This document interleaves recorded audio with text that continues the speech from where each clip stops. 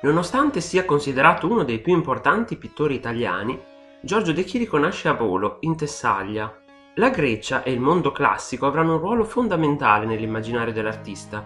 Nei suoi dipinti, al fianco di piazze e caseggiati moderni, compaiono colonne, busti classici e candide statue di marmo.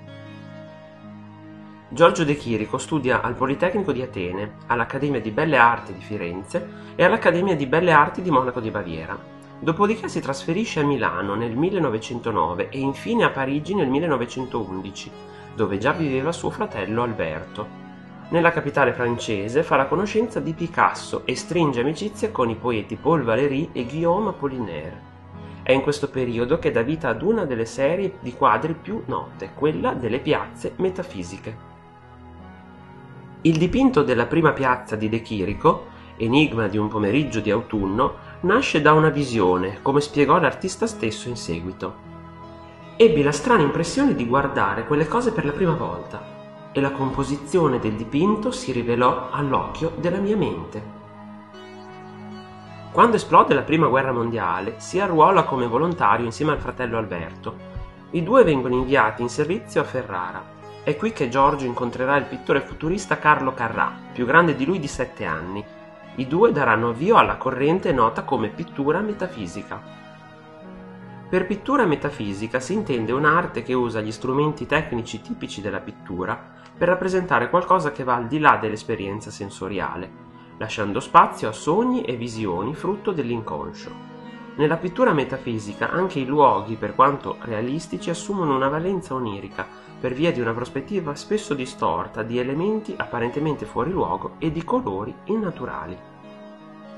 Elementi chiave delle opere metafisiche di De Chirico sono le immense piazze prive di presenza umana, in cui emergono elementi bizzarri come manichini, busti di marmo e colonne classiche. Da queste opere spesso traspare un senso di solitudine e inquietudine, come se ci trovassimo immersi in uno strano sogno. Per la figura del manichino, simbolo dell'uomo automa contemporaneo, De Chirico trae ispirazione dall'uomo senza volto, personaggio di un dramma del fratello Alberto Savinio, pittore e scrittore. Le opere più celebri di questo periodo sono Ettore e Andromaca e Le Muse inquietanti. La pittura metafisica porrà le basi per la nascita del surrealismo, corrente artistica che privilegerà la rappresentazione dell'io interiore dell'artista a discapito della fedeltà realistica. Artisti surrealisti sono Miro, Dalí e Magritte. Nel 1936 si trasferisce a New York per un'importante mostra e collabora con famose riviste di moda. Lavora inoltre come decoratore di interni, realizzando ad esempio una sala da pranzo in un progetto che coinvolge anche gli artisti Picasso e Matisse. Nel secondo dopoguerra De Chirico avvierà quella che è conosciuta come fase barocca, con opere che ritraggono nature morte, soggetti storici mitologici e autoritratti, come il famoso autoritratto con corazza. L'artista ormai stimato e riconosciuto avrà l'onore di festeggiare il novantesimo compleanno in Campidoglio nel 1978. Si spegnerà pochi mesi dopo a causa di una lunga malattia.